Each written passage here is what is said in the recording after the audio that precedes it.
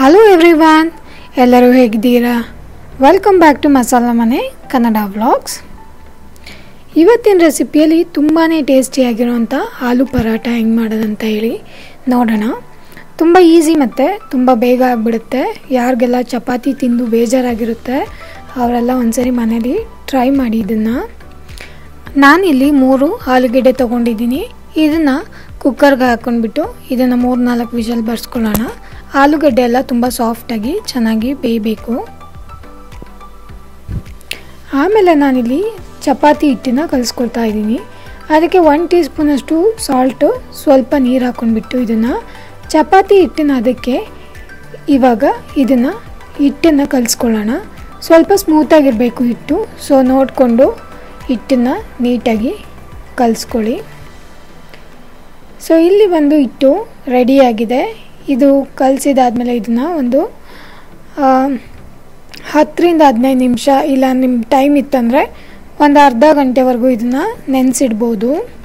ನಾನಿಲ್ಲಿ ಹಿಟ್ಟು ಕಲಸಾದ್ಮೇಲೆ ಅದಕ್ಕೆಲ್ಲ ಆಯಿಲ್ ಅಪ್ಲೈ ಮಾಡಿಬಿಟ್ಟು, ಆಮೇಲೆ ಇದ್ರ ಮೇಲೆ ಒಂದು ಕ್ಲೋ, ಲಿಡ್ಡನ್ನು ಕ್ಲೋಸ್ ಮಾಡಿಬಿಟ್ಟು ಅದನ್ನು ಒಂದು ಅರ್ಧ ಗಂಟೆ ಅಷ್ಟು ಟೈಮು ನೆನೆಯೋದಕ್ಕೆ ಅಂತ ಬಿಡ್ತೀನಿ.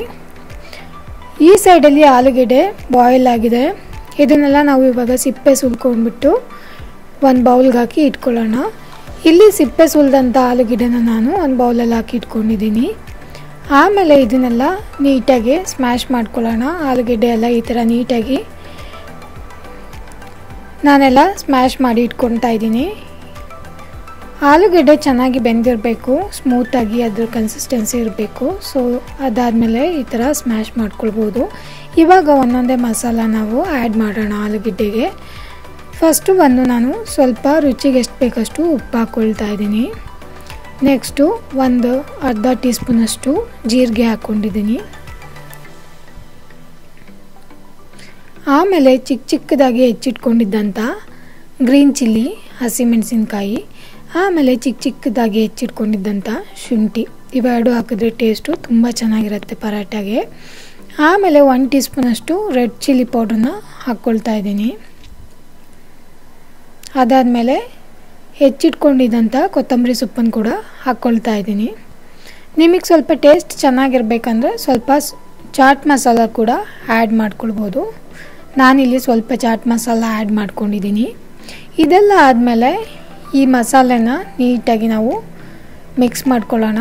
ಇಲ್ಲಿ ಆಲೂ ಪರಾಟಗೆ ಸ್ಟಫಿಂಗ್ ರೆಡಿಯಾಗಿದೆ ಇಲ್ಲಿ ಹಿಟ್ಟು ಆಲ್ರೆಡಿ ಅರ್ಧ ಗಂಟೆ ನಾನು ನೆನೆಸಿಟ್ಕೊಂಡಿದ್ದೀನಿ. ಈ ಸೈಡಲ್ಲಿ ನಾನೊಂದು ಪ್ಯಾನನ್ನು ಇಟ್ಕೊಂಡಿದ್ದೀನಿ. ಪ್ಯಾನ್ ಬಿಸಿ ಆಗಲಿ ಅಂತ ಹೇಳಿ. ಆಮೇಲೆ ನಾನು ಸ್ವಲ್ಪ ಹಿಟ್ಟನ್ನು ಡಸ್ಟಿಂಗ್ ಮಾಡ್ಕೊಳ್ತಾ ಇದ್ದೀನಿ. ಪರಾಟ ಲಟ್ಟಿಸ್ಕೊಳ್ಳೋದಕ್ಕೆ ಅಂತ ಹೇಳಿ. ನಾನಿಲ್ಲಿ ನಾದಿಟ್ಕೊಂಡಿರೋವಂಥ ಚಪಾತಿ ಹಿಟ್ಟನ್ನು ಸ್ವಲ್ಪ ಕೈಯಲ್ಲಿ ತೊಗೊತಾ ಇದ್ದೀನಿ. ಅದಾದಮೇಲೆ ನಾವು ಮಿಕ್ಸ್ ಮಾಡಿ ಇಟ್ಕೊಂಡಿದ್ವಲ್ಲ ಆಲೂ ಮಸಾಲಾನ, ಇದ್ರೊಳಗಡೆ ಹಾಕ್ಕೊಳ್ಳೋಣ ಅಂತ ಹೇಳಿ.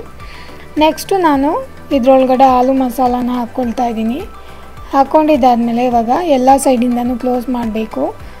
ಆಲೂ ಸ್ಟಫ್ ಏನು ಹೊರಗಡೆ ಬರಲಿಲ್ದಂಗೆ ನೀಟಾಗಿ ಇದನ್ನು ಕ್ಲೋಸ್ ಮಾಡಿಕೊಂಡು ಅದ್ರ ಮೇಲೆ ಸ್ವಲ್ಪ ಚಪಾತಿ ಹಿಟ್ಟನ್ನು ಡಸ್ಟಿಂಗ್ ಮಾಡ್ಕೊಂಡ್ಬಿಟ್ಟು ಇವಾಗ ನಾವು ನೀಟಾಗಿ ಚಪಾತಿನ ಯಾವ ಥರ ಲಟ್ಟಿಸ್ಕೊಳ್ತೀವಿ ಆ ಥರ ಲಟ್ಟಿಸ್ಕೊಳ್ಳೋದಕ್ಕೆ ಶುರು ಮಾಡ್ಬೋದು. ನಾನಿಲ್ಲಿ ಚಪಾತಿ ಥರನೇ ಇದನ್ನು ನೀಟಾಗಿ ಲಟ್ಟಿಸ್ಕೊಳ್ತಾ ಇದ್ದೀನಿ.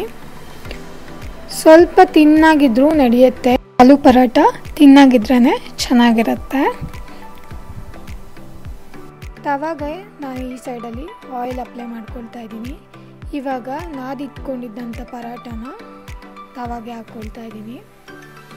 ಅದಾದಮೇಲೆ ನಾವು ಅದ್ರ ಮೇಲೆ ಎಣ್ಣೆನ ಅಪ್ಲೈ ಮಾಡಿಕೊಂಡು ಒಂದೊಂದೇ ಸೈಡನ್ನ ಬೇಯಿಸ್ಕೊಳ್ಳೋಣ. ನೀವು ಆಯಿಲ್ ಬೇಕಂದ್ರೆ ಅಪ್ಲೈ ಮಾಡ್ಕೊಳ್ಬೋದು, ತುಪ್ಪ ಬೇಕಾದರೂ ಹಾಕ್ಕೊಳ್ಬೋದು ನಾನು ಆಯಿಲ್ ಅಪ್ಲೈ ಮಾಡ್ಕೊಳ್ತಾ ಇದ್ದೀನಿ. ಯೂಶ್ವಲಿ ಗೀ ಅಪ್ಲೈ ಮಾಡ್ಕೊತಾರೆ ಪರಾಟ ಟೇಸ್ಟ್ ಚೆನ್ನಾಗಿ ಬರಲಿ ಅಂತ ಹೇಳ್ಬಿಟ್ಟು.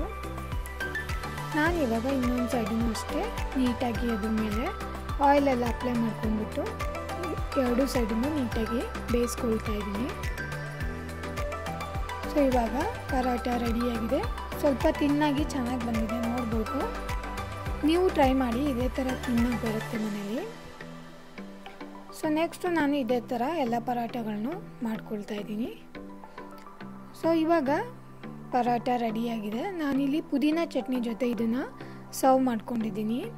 ನೀವು ಬೇಕಂದರೆ ಮೊಸರು ಜೊತೆ ಕೂಡ ಸರ್ವ್ ಮಾಡ್ಕೊಳ್ಬೋದು. ಚಟ್ನಿ ಜೊತೆ ಸರ್ವ್ ಮಾಡ್ಕೊಳ್ತಾರೆ ಸ್ವಲ್ಪ ಜನ. ಇದ್ರ ಮೇಲೆ ನಾನಿವಾಗ ಒನ್ ಟೀ ಸ್ಪೂನಷ್ಟು ತುಪ್ಪನ ಆ್ಯಡ್ ಮಾಡ್ಕೊಳ್ತಾ ಇದ್ದೀನಿ. ಡಯಟಲ್ಲಿರೋರೇನು ಗೀನ ಅವಾಯ್ಡ್ ಮಾಡ್ಬೋದು.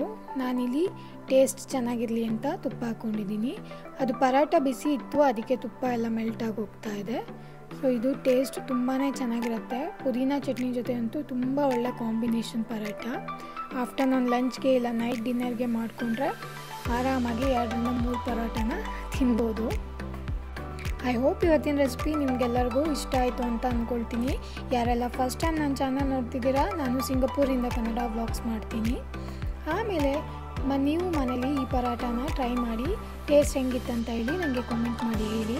ಮತ್ತು ಇದೇ ಥರ ಚೆನ್ನಾಗಿರೋ ರೆಸಿಪಿಗಳ ಜೊತೆ ಇನ್ನೊಂದು ವಿಡಿಯೋಲಿ ಸಿಗೋಣ.